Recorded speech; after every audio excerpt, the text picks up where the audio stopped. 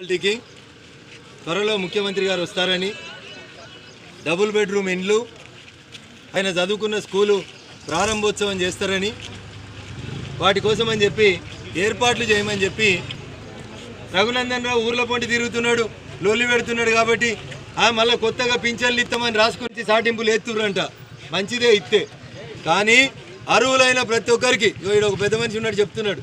అర్హులైన ప్రతి పేదోడికి పింఛన్ ఇవ్వాలని చెప్పి భారతీయ జనతా పార్టీగా డిమాండ్ చేస్తూ ఉన్నాం. గజ్వెల్లో సిద్దిపేటలో సిరిసిల్లలో ఏ రకమైనటువంటి అభివృద్ధి రోడ్లు కుంటలు చెరువులు ఫంక్షన్ హాల్లు వచ్చినాయో అదే రీతి లోపల దుబ్బాక నియోజకవర్గంలో అయితేనే ఓట్లు అడిగేందుకు లేకపోతే ఖచ్చితంగా అడ్డుకుంటామని చెప్పి ఈ సందర్భంగా ఈ రాష్ట్ర ప్రభుత్వాన్ని మేము హెచ్చరిస్తూ ఉన్నాం.